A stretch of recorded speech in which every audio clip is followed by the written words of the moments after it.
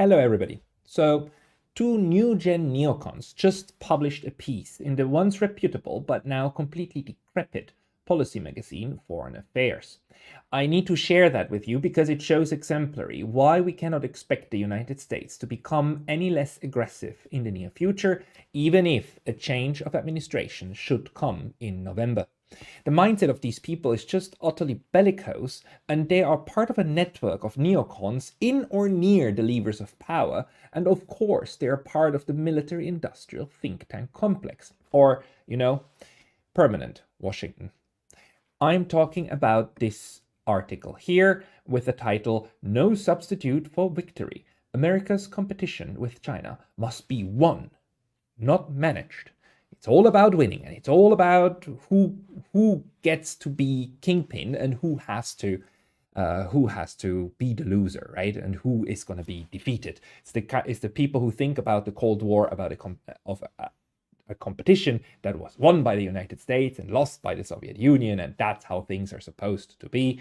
Um, and this is continuing. So, who are these people who wrote that? It's and that's why it's important. Matt Pottinger and Mike Gallagher if these names don't ring a bell, I forgive you. I also didn't didn't know about them, but turns out they're actually quite important people. Math, Matthew Pottinger is this guy here, um, born in 73, and he used to be the United States Principal Deputy National Security Advisor. Now, who is that? That's the guy serving right under the position serving right under the uh, actual uh, national security advisor and he was in he was in power he was in power he was advising the US president to 2019 to 2021 under Donald Trump uh, for a relatively long time, for two or like almost like three, nearly three years, which makes him stand out in the crowd because under under Donald Trump there was such a big turnaround, right?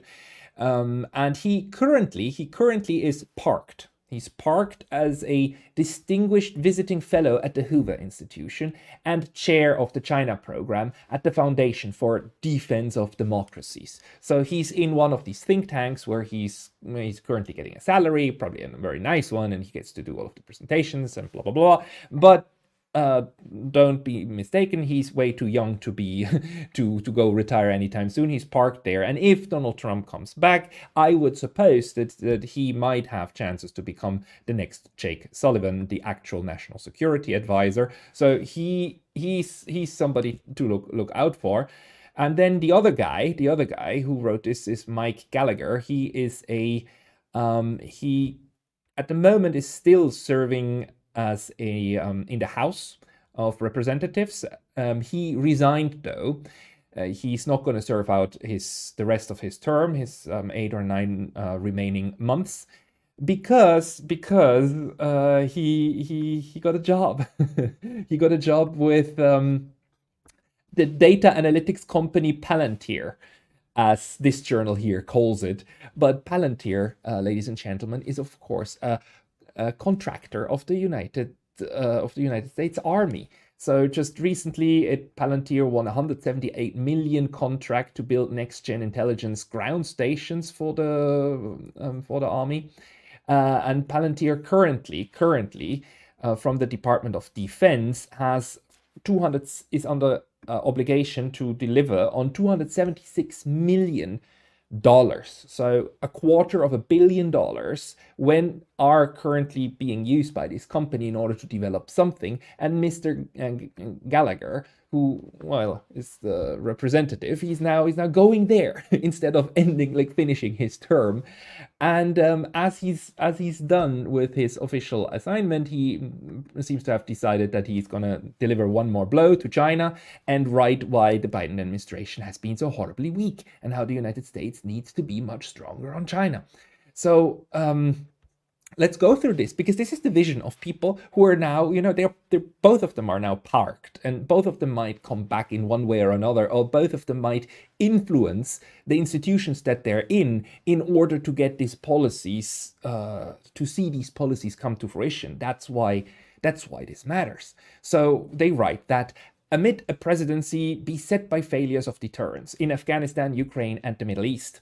The Biden administration's China policy has stood out as a relatively bright spot. So, what the what they are saying, interestingly, is that Afghanistan, Ukraine, and the Middle East are uh, deterrence failures. I wonder how you frame Afghanistan as a deterrence failure. You failed to to to to deter Taliban to make sure that the Afghan government that you put into in place doesn't collapse? How is how is that a deterrence failure? But anyhow, this is this is their mindset. You know, since the United States, they would never try to portray it as aggressive, right? So it's just about deterrence, about defending what you've got um, and the Middle East, that the Middle East is in here as well, and that, that what has happened between Hamas and Israel is apparently portrayed by these people as a, as a lack of deterrence from the US side is also interesting. It just tells you that they feel entitled to be in charge of the entire world, right? Everything in every place where, where the US has um, military outposts and has any kind of interests, they're uh, you need to use deterrence in order to get what you want, or you need to use military power to get what you want. And if you don't get what you want, if something else happens, then it's a failure of deterrence. That's the mindset that they operate under. And then the article actually describes that the Biden uh, uh, administration has been, you know, semi-tough on on China, but the big mistake is that that Biden wants to manage competition, as Mr. Biden says himself uh, what these people here want, they want a commitment to fight a Cold War and fight it out to the end, right? The, this is the goal, according to them. The United States shouldn't manage the competition with China, it should win it. Be Beijing is pursuing a raft of global initiatives designed to disintegrate the West and usher in an anti democratic order, despite the fact that China keeps saying time and again that they don't interfere in other countries' internal affairs. They just that's just not what they do. They they officially say that's not that's not they're not in that business and they have no problem with democratic Mongolia living right next to them. They have no problem interacting with Japan. They have no problem interacting with any kind of democracy. They visit them all the time. But according to these people, uh, well, China is just is just working on destroying all the democracies around the world. While this article tells us that this is exactly what they want to do to China, right? That they want to regime change China. Because here it comes. Well, what would winning look like, says the article? China's communist rulers would give up trying to prevail in a hot or cold conflict with the United States and its friends. So the Chinese would not would not compete anymore with the US. But that's only half half of what the article says, what what they should strive for. There's a second half. And the Chinese people, from ruling elites to everyday citizens, would find inspiration to explore new models of development and governance that don't rely on repression at home and compulsive hostility abroad. AKA regime change, something new, not the CCP, something else. And uh, I, I, remind you, this uh, guy here, Mike Gallagher, he was on the he was the chair of the House Committee on the Chinese Communist Party. I wasn't aware that the House of Representatives has a committee on the Chinese Communist Party. Just imagine for a second what would happen if the if if the China if the CCP had a had a House committee on the Democratic Party in the United States and the Republican Party of the United States, and if if China if the CCP officially said that their goal is to uh, to make sure that both of these parties disintegrate and that a third party comes to power. Imagine if they actually said something like that, even in in, in just in publications by like semi-official uh, semi-officials. Um, the U.S. is really the only country that so outspokenly um, calls others calls for other states uh, the, uh, political systems to change. Well, then the article complains a lot about uh, how Washington has been too weak. Um, and uh, here, this one, no country should relish waging another Cold War, yet a Cold War is already being waged against the United States by China's leaders. So the, these people frame it as in, you know, it's always the same thing. Um, war or a Cold War or a competition is not what we want. We don't want that. It's being pushed on us. Therefore, we like heavy-heartedly have to respond, and we have to respond forcefully, unfortunately. It's always the same framing. Like we didn't choose this fight, but we will end it. You know, that that rhetoric, that rhetoric that's being used in order to sell any kind of war, hot or cold, to the the um, common people, right, on the ground.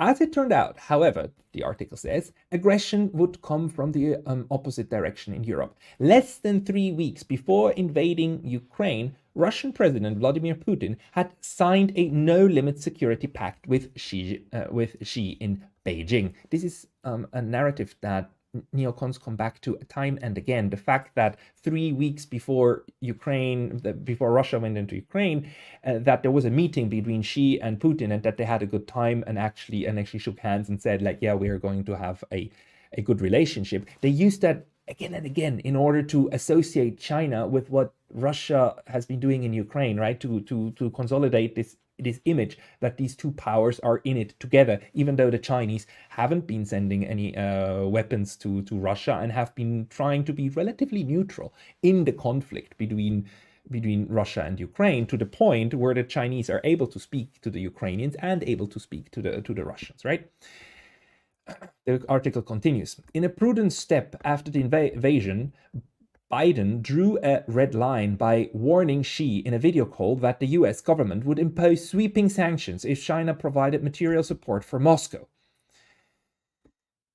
I need to comment on this because this, this sentence implies that it was um, the U US threat of sanctions that kept China from sending weapons to uh, to Russia, which just isn't the case. Russia had uh, China had has no interest in this conflict between Russia and Ukraine. China really has none. China has good interest in having good relations with Russia and good relations with Ukraine. Therefore, they are not trying to help either side in this conflict. It's not the threat of, U of US sanctions. And the, the interpretation thereof is either a lie or an utter misunderstanding of uh, what, what, what China's interests are in, uh, in Eurasia, right? The article continues. Xi nonetheless found plenty of ways to support the Russian war machine, sending semiconductors, unarmed drones, gunpowder, and, and other wares. Again, these, these are things that China was trading with Russia even before. And after the uh, after the outbreak of the war and the Europeans and the Americans put all of these sanctions on Russia, well, Russia looked for other outlets for its own um, for its own goods and its oil, and China was more than happy to buy that because they have normal relations. It's not a matter of uh, supporting the war effort of, of Russia. It's a matter of continuing normal a normal relationship with the Russians. And this this interpretation that anything and everything um, happens because either the United States wants it or not. It's just uh, it's extremely self-absorbed, but it's a um, it's it's a hallmark of the neocons really. The article then has has this part in here. If ever the time was ripe to call out Beijing for fomenting chaos and to start systematically imposing costs on the country in response, it was early 2023. Biden inexplicably was doing the opposite. So, yeah, just trying to show that the, the, United States is basically under attack by, by China because China doesn't do exactly what the United States tells it to do. And therefore, you need to put on more pressure. That's the entire gist of the uh, of this um, of this article. It continues. In June 2023, leaks to the press revealed that Beijing, in a remarkable echo of Cold War, was planning to build a joint military training base in Cuba and had already developed a as signals intelligence facility there targeting the United States. The same people who argue that every country is free to choose its own military alliances, and of course Ukraine is allowed to join NATO because every country can join any military alliance, will immediately tell you that China and Cuba cannot have a military alliance, cannot even have any kind of military agreements, um, because that would be a huge threat to U.S. national security. The same people, but they, of course, of course, the the rules that that, that that count for the United States in their mindset is not the rules that count for everybody else. And the rules-based international order is an order in which the United States makes the rules for everybody else and then orders everybody else to follow. That's that's the neocon mindset. Any doubts that Xi saw the American posture as one of weakness were dispelled after Hamas' October 7 massacre in Israel. Beijing exploited the attack by serving up endless anti Israeli and anti American propaganda through TikTok, whose algorithms are subject to control by the Chinese Communist Party. Chinese diplomats, like Russian ones, met with Hamas leaders and provided diplomatic cover for the terrorist group, vetoing UN Security Council resolu- resolutions that would have condemned Hamas. The anyone who has been following of what has been happening over the last six months in Israel conflict know that it was the United States that has been vetoing almost each and every uh, Security Council resolution that uh, tried to bring an end to to the conflict, and that what the what China did, and also what Russia do, in fact, was to say like, hey, this this war in the Middle East should stop, should end as, as soon as possible, and we have problems on uh, on both sides here, and talking to both sides in order to bring an end to a war is something that these that these people, these neocons, interpret as as a grave danger, and uh, and making everything worse in the Middle East um, as if though it hadn't been China that actually brokered before before the outbreak of the of the war a an, an understanding between Iran and uh, Saudi Arabia. You know that that was that was due to uh, Chinese foreign policy, not because of uh, U.S. Uh, interventions and trying to bring peace to the region. Um, and and there's a there's a clear obsession here with TikTok. TikTok uh, keeps coming up on other places again, and you know um, the dude Mike uh, Gallagher, he's one of the people who like pushed very hard for a ban on uh, of TikTok. Uh, because apparently, even though this is a completely U.S. Uh, owned uh, company headed by a Singaporean and so on, they he they see a threat in all and anything that is some in some way, shape, or form connected to China, and they would like to to to cut all of those those cords and links off, also in uh, decoupling as uh, as much as, as somehow possible. Uh, the the article continues at some point um, Washington must adopt a similar attitude today and try harder to disseminate truthful information within China itself and to make it possible for Chinese citizens to communicate securely with one another. So, the same people who say, like, we must make sure that China has no influence over our information space are the people who say we need to get some form of lever over the information space in China in order to propagandize their um, population to rise up and overthrow the government.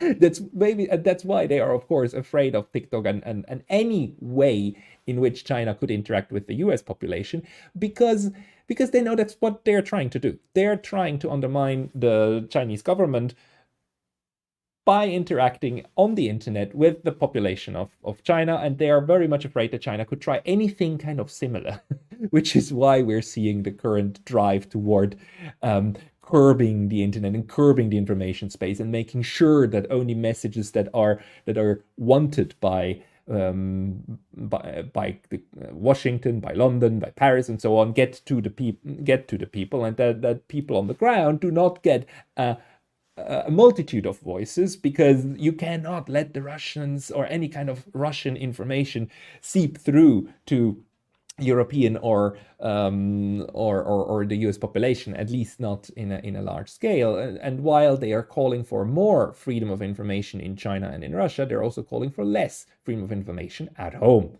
That's the that's the mindset um, of of the people. The article continues. Beijing is waging a bitter information war against the United States, which is losing, despite its natural advantages. Xi and his inner circle see themselves as fighting an existential ideological, ideological campaign against the West. Funnily, th- funny enough, it's of course these neocons. It's them who are fighting an ideological war. It's them who, like, under the banner of spreading democracy, are willing to go to the to a third world war. Right? It's their they accuse the other side of exactly they're doing. That's the that's it's absolutely fascinating to me without being able to reflect on that, or at least they don't they don't show it. I wonder I wonder if they are aware of what they're doing. Um, and then under the last par, uh, the last section, they, they say that a better policy at the moment for the United States would be uh, one that rearms the United States military, reduces China's economic leverage, and recruits a broader coalition to confront China. That's that's the neocon spiel, right? Build as many as many alliances as you can, and then push other alliance partners into the bayonets of whoever you want you want to fight. That's why the Ukrainians are dying in Europe and not American or NATO troops, because that's what happens when you when you when you ally yourself with the US. uh, and you know throw more money at the military, more money for the military, because uh, you know at the end of the day, um, that's their worldview. And let's not forget, if you do that, you get hired by these um, by by these uh, organizations that then receive the money, right? So it's it's it's a circular. It's it's like the money. The money keeps then flowing to the people who who who spend who give the money, who then again give money to to um, politicians who can who can then run for for Congress and and so on, and then uh, again give more money. It's a huge grift scheme. It's a huge grift scheme. Um, the article also says that the deterrence deter- deterrence fund should headline a generational effort directed by the president to restore US primacy in Asia. So they would like to have a deterrence fund, like just more money for the military. The priority should be to to maximize existing production lines and build new production capacity for critical munitions for Asia more war, more weapons, and more money for us who then go and work with these companies who get the money that, that we wanna we wanna have spent here. And they call it a deterrence fund. It's it's just so utterly ridiculous. For US forces to actually deter China, they need to be able to move within striking range. Now comes a really interesting one. Listen to this. The threat that Chinese vast missile arsenals pose to US bases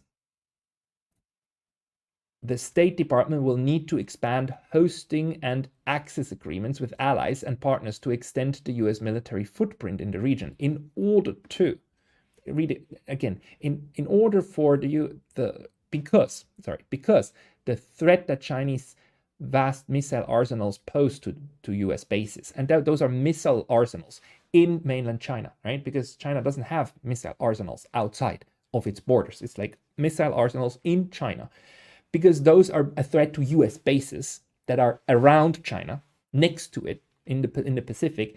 What you need to do in order for these US bases to be better protected is to create more bases closer to China, which you can then say you need to protect from mainland China. So you need to build even more bases. The circular logic and the logic of aggression is amazing. So the the solution is not to withdraw US bases or to make sure that these US bases are not a threat to China. No, you need to increase the threat toward China, toward the mainland, in order in, in, in order to do what? Well, just to threaten it. It's the it's the logic of militarism, utterly grift militarism, but it's it's it's fantastic. It's fantastic. You would need in the United States a complete change of mentality to go away and, and, and advocate for withdrawal. Because again, the reason why no Swiss military bases uh, in Asia Pacific are threatened by China is because the Swiss don't have military bases in the Pacific. Therefore, they're not threatened. So in a, the Swiss are really much better at having their military bases not threatened by China than the United States is.